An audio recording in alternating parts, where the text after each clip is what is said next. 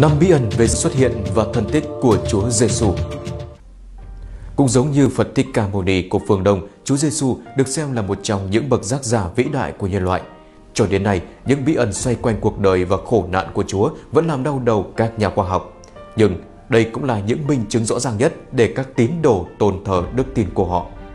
Trong đó phải kể đến những di vật và thánh tích có niên đại hàng ngàn năm, nhưng kỳ lạ là với công nghệ hiện đại nhất của thế kỷ 21, các nhà khoa học vẫn không thể phục dựng hoặc tái hiện lại như tấm vải liệm Turin, chén thánh, thánh giá. Minh Đức xin kính chào quý khán thính giả của Ngẫm Radio. Các bạn thân mến, tháng 12 là tháng Đức Chúa Giáng sinh. Nhân dịp này, chúng ta hãy cùng tìm hiểu năm bí ẩn lớn nhất về cuộc đời và những thánh tích mà Chúa Giêsu đã để lại cho hậu thế. Một con đường truyền đạo của Chúa. Hơn 2.000 năm trước, xứ Judea của người Do Thái nằm dưới sự cai trị của một vị tiểu vương tên là Herod I, dưới quyền hoàng đế La Mã, nghĩa là người Do Thái lúc này thuộc sự cai trị của chính quyền La Mã. Người Do Thái trong buôn vàn đau khổ khi bị ngoại bang áp bức vẫn buồn lòng ngóng trông đấng cứu độ sẽ đến giải thoát cho mình. Theo các dự ngôn xa xưa, từ trong lòng dân tộc ấy lại sinh xuất một vị cứu tinh và Ngài sẽ là vị vua chân chính, là đấng cứu thế của người Do Thái. Khi Chúa Giêsu ra đời ở Bethlehem thì ở phương Đông có ba nhà thông thái xem chiêm tinh đã nhìn thấy một ngôi sao mới rực rỡ xuất hiện trên bầu trời vạch một đường sáng hướng tới vương quốc Judea. Họ vui mừng khi tìm đến nơi và đã quy lại Đức Chúa Hài Đồng. Họ mở dương hòm để biếu Chúa Giêsu các tặng phẩm quý giá tương xứng với một đế vương như là vàng tiêu biểu cho sự giàu sang trần thế, nhũ hương và mộc dược tiêu biểu cho lễ vật hiến dâng Thiên Chúa trên trời – Lời tiên tri về sự ra đời của đứa trẻ đặc biệt ấy đã làm kinh động đến vua Herodes đại đế, dẫn đến cuộc truy lùng những bé trai vô tội ở Bethlehem. Và đó là khởi đầu cho cuộc đời truyền đạo của Chúa Jesus Christ. Theo sách Phúc âm Luca, Chúa Giêsu bắt đầu con đường truyền đạo khi Ngài khoảng 30 tuổi. Ngài đã đi khắp nơi để thuyết giảng tin lành, khuyên bảo con người tránh xa tội lỗi, sống một cách khoan dung, độ lượng, biết trao đi thứ yêu thương vô điều kiện và hãy kiên định đức tin vào Thiên Chúa, Lời giảng của Ngài đã thức tỉnh biết bao nhiêu người dân Do Thái, họ tụ họp thành đám đông và tìm đến bất cứ nơi nào Ngài giảng đạo. 2. Thần tích của Chúa Giêsu vào thời của Chúa Giêsu, rất nhiều phép màu đã diễn ra với như câu chuyện Ngài chữa bệnh phong và khiến cho người chết hồi sinh. Chúng ta hãy xem lại một số thần tích đáng kinh ngạc được ghi chép lại trong Kinh Thánh. Lúc Chúa Giêsu đi xuống núi, có rất nhiều người đi theo Ngài, có một người bị bệnh phong đến hành lễ trước ông và nói Chúa ơi, nếu Ngài sẵn lòng, cầu xin Ngài có thể tẩy rửa dơ bẩn giúp con. Chúa Giêsu đưa tay ra chạm vào anh ta và nói Ta sẽ làm, con đã sạch rồi đó. Và bệnh phong của anh ta ngay lập tức không còn nữa. Khi Chúa Giêsu vào Capernaum, một chỉ huy quân đội bước đến và cầu xin Ngài. Lạy Chúa của tôi, người làm của tôi bị bệnh rất đau đớn và đang nằm ở nhà. Chúa Giêsu nói, ta sẽ chữa lành cho anh ta. Người chỉ huy trả lời, Lạy Chúa, Ngài đến nhà của con sao? Con không dám như vậy, chỉ cần Ngài nói một lời, người làm của con sẽ ổn thôi. Chúa Giêsu nghe được lấy làm lạ và quay sang nói với các môn đồ. Ta thực lòng nói với các con, ở nơi này ta chưa thấy ai có đức tin lớn như người này. Quay trở lại với người chỉ huy, Chúa nói, Hãy quay về nhà đi, vì đức tin của con ta sẽ thực hiện mong muốn của con.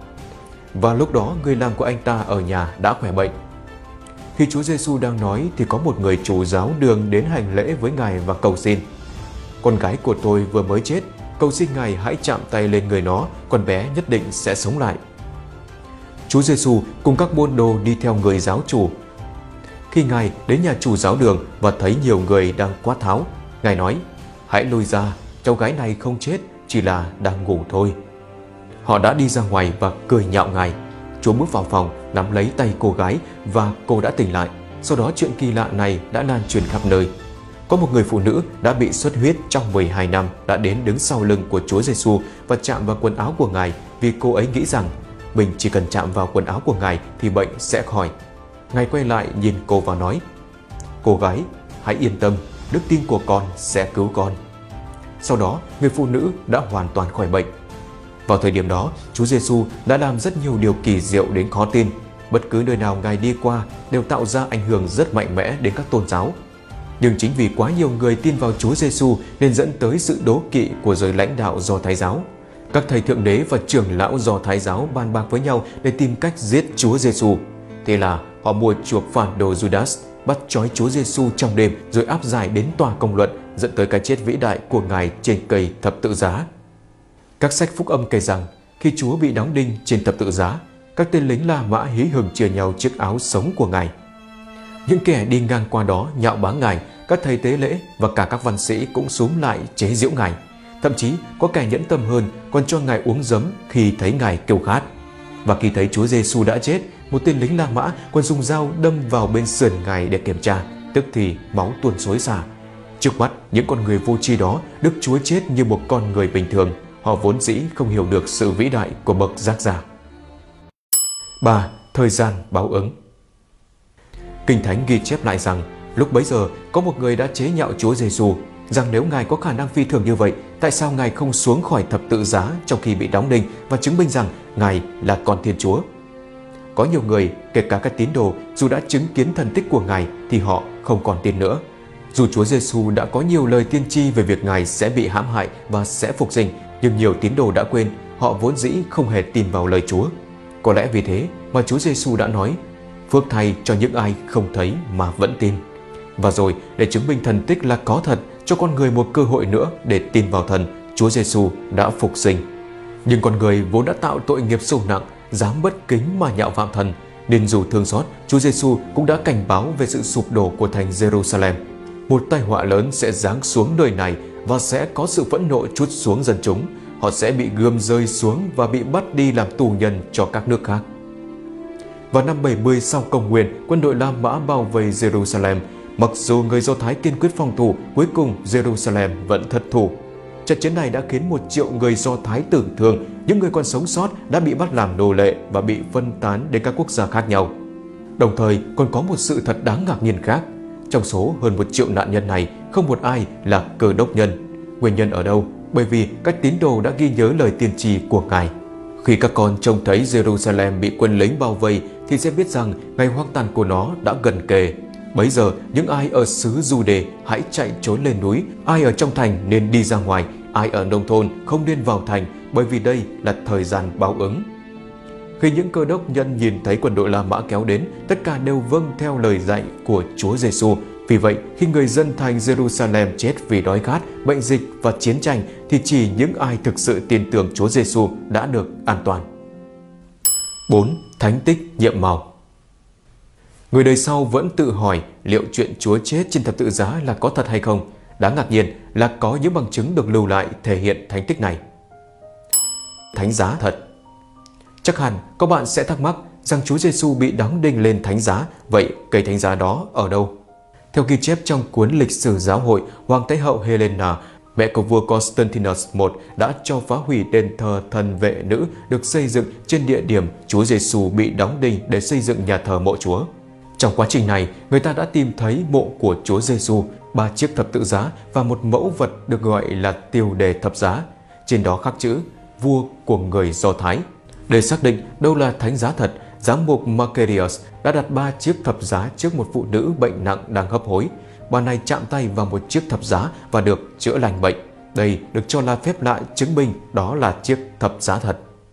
Chiếc khăn của Veronica Chiếc khăn của Veronica là một thánh tích nổi tiếng khác, trên đó in dấu gương mặt của Chúa Giêsu trước khi bị hành hình.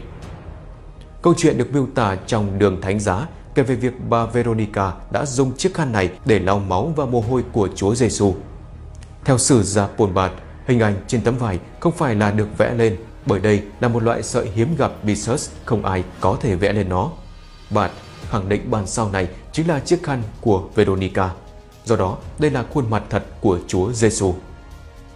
Tấm vải liệm Turin Báo cáo của nhóm nghiên cứu năm 1981 cho biết những hình ảnh trên tấm vải thực sự là của một người đàn ông bị đóng đinh và tra tấn. Các dấu vết trên tấm vải là vết máu có chứa các thành phần của máu như hemoglobin, thành phần của hồng cầu và albumin, thành phần của huyết tương. Điều kỳ lạ là tấm vải này tái hiện đúng những gì Kinh Thánh ghi nhận. Nó cũng không có tác động của con người, không thể tái hiện, không thể làm giả và đã trường tôn qua hàng ngàn năm. Giáo hoàng John Paul II miêu tả đó là một thánh tích đặc biệt. 5. Ngẫm lại con đường truyền pháp của các giác giả Câu chuyện về Chúa Giêsu đã viết nên tấn bi kịch của các bậc giác giả truyền pháp. Đáp lại ân điển ấy, người ta lại lấy tâm phàm để đo lường thánh nhân.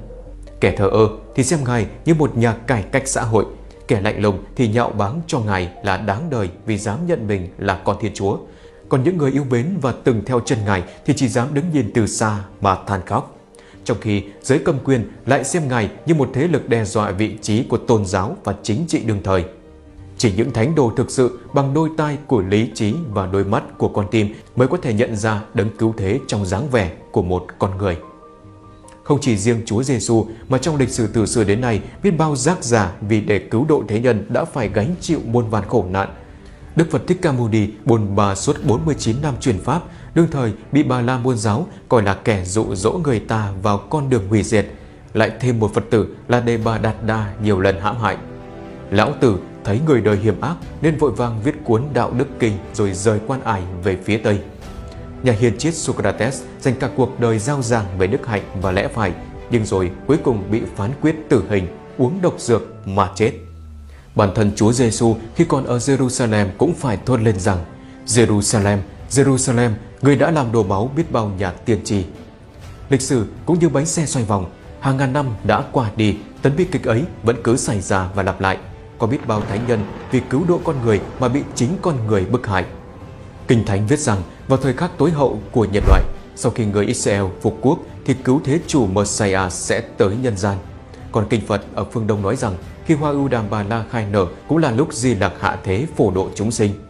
Thời hiện nay, khi Israel đã phục quốc, hoa ưu đàm khai nở khắp nơi, trong cái hỗn loạn của thời mặt Pháp, vàng thầu lẫn lộn, thật giả, bất vân, nếu có vị đại giác giả xuống thế gian lấy thân người giảng đạo lý, liệu nhân loại sẽ nghe bằng lý trí, nhìn bằng con tim hay lại tiếp tục dẫm lên vết chân của quá khứ nữa đây? Con người sẽ vui mừng đón nhận giáo pháp của Ngài hay quay lưng phỉ báng coi đó là tà giáo và rồi bức hại các pháp đồ. Các bạn nghĩ sao về chủ đề ngày hôm nay? Hãy cho Minh Đức biết suy ngẫm của các bạn ở phần bình luận bên dưới. Và đừng quên ấn đăng ký kênh và nút chuông bên cạnh để nhận được thông báo khi có video mới nhất. Cảm ơn các bạn đã quan tâm và theo dõi. Còn bây giờ, xin chào và hẹn gặp lại vào lúc 19h30 hàng ngày trên kênh Ngẫm Radio.